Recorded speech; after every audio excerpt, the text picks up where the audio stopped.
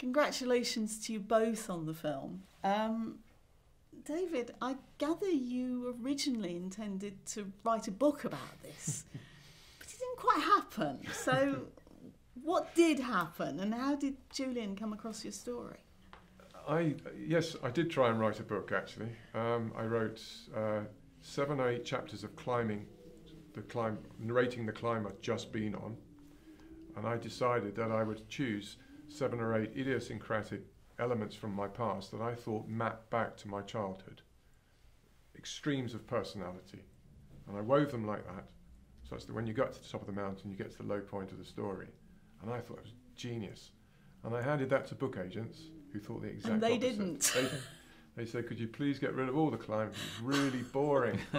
but if you wrote 15 mm. chapters of personal, come back. And a fit of hubris, I slung it in the bottom drawer. My, my wife gave it to a friend at the gym who gave it to her husband who decided he wanted to make movies. That was it. And it was like a chain reaction almost. in- Unbelievable. In, that right, way. yeah. And what was your reaction when you first came across this story, Julian? Well, I the very early draft of the script I read, not knowing it was true, who it was about, not knowing what the subject matter was at all. Which I think they were quite clever in doing that, and in a way, I wish audiences could be innocent with this film and have the same reaction as I did because you go, th- you know, I went through a whole range of reactions from you know the sort of delight in certain parts of the childhood to feelings of foreboding to uh, getting completely involved in this, um, the ups and downs of the relationship with Vanessa, and then feeling, you know, us, in the end very moved and emotionally wrung out really uh, by this sort of cathartic journey. And I thought it was, I thought it was a very important story to tell. I did think it was uh, also, you know, would make a good film because the incidents in David's life are extremely unusual and colourful, and um, and involved quite a lot of very strong and intriguing personalities. So I was hooked. So, David, how, how involved were you in the in the making of the film? Were you on set at all? Did you work very closely with Julian? I was on set every single day, I think. I don't think I missed one. I, at first, the reason was uh, fear, apprehension. Um, I knew what was in the script, and I was afraid that the salacious elements would be extracted. Even though I knew what was in the script, I thought if I weren't, wasn't, somehow it was going to create a brand new script well, in it's the your back pocket. And there was a sense of making sure that it, it stuck to the literal truth as, as best I could tell it. And, um, and uh, at first I was nervous, and then in very no short order, Julian proved that he was as um, rigorous about maintaining that authenticity, that, that uh, correlation to the truth as I was, to the, to the extent that one particular day um, something happened that was marginally outside the truth. And I remember him turning around with a sheepish grin on his face and saying, "You didn't like that, did you?" And I went, "I just sort of," mm. and I think that was the only input, like material input, I, I can really remember.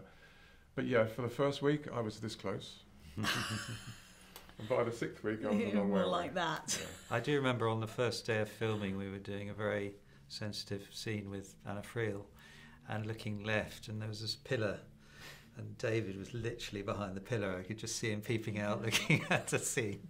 Um, I will never forget that first day. What's it like watching somebody play you and seeing your life unfold in front of your eyes like that? the, the, the, I've got to figure out the right word for that. I don't want to use some sort of surreal because it is, but it totally and unbelievably surreal. But after a while, you become a third person to it. You're looking at it from a distance. There are moments that were intensely profound. When I first day of shooting, Anna Friel walked in, the absolute carbon copy of my actual mother, and I actually had so little to do with Anna Friel. I didn't know really much about her at all. And when she walked in, I, I came pretty close to like wobbling. It was uncanny likeness. Really, when I reached South Africa and watched those scenes, that was the that was the most emotionally taxing two weeks of my life. Watching little Hugo Stone uh, play out my life, and I'd invested so much in this child. He's not only naturally the beautiful, most beautiful thing ever to walk the face of the earth, which made my life difficult. Watching him play out scenes that were so close to my DNA. We mentioned Anna Friel, who plays your mother. Um, I've got to ask this because when I was watching the film, I couldn't help but notice there was a distinct resemblance between Anna Friel and Emily Beecham, who plays the wife. And I wondered if this was coincidence or actually deliberate. Well, there's, there's, uh, they both have a warmish coloured hair, should we say? So that there is that. It was, it was more than that. It was definitely yes. in the face. I mean, I think there's a. Uh, it what we didn't go out to do that. We we tried to pick the best people for the part, um, but I don't I don't in a way think that was a, you know, a, a terrible thing uh, for the film. I think it, there's something intriguing about that. And one other of your pieces of work that I'm familiar with, of course, is Appropriate Adult, which, of Mm. course, was the, the mini series about Fred and Rose West. Um, another very, very dark story. Mm. Um, what does telling stories like that demand of you as a director and indeed as a person?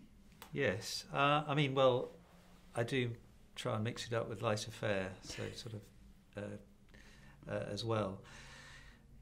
I mean, I think it, it sometimes these extreme situations um, allow one to really examine what, what how a, how a person reacts under them and the psychology of that.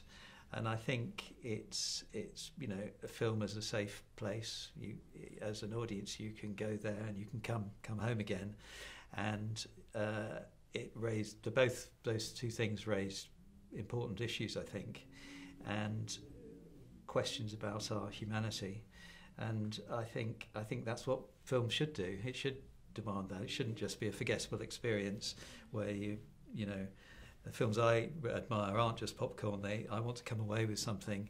Uh, I want to come away with a question, a debate, and uh, so I suppose that's why I was drawn to both those things. Not necessarily because they were dark, but because they were tackling an important issue um, that that is is in in the in the culture at the moment. And cer- certainly, you have done that with this. David, Julian, thank you very much indeed. Thank you. Pleasure. Thank Thank you. you.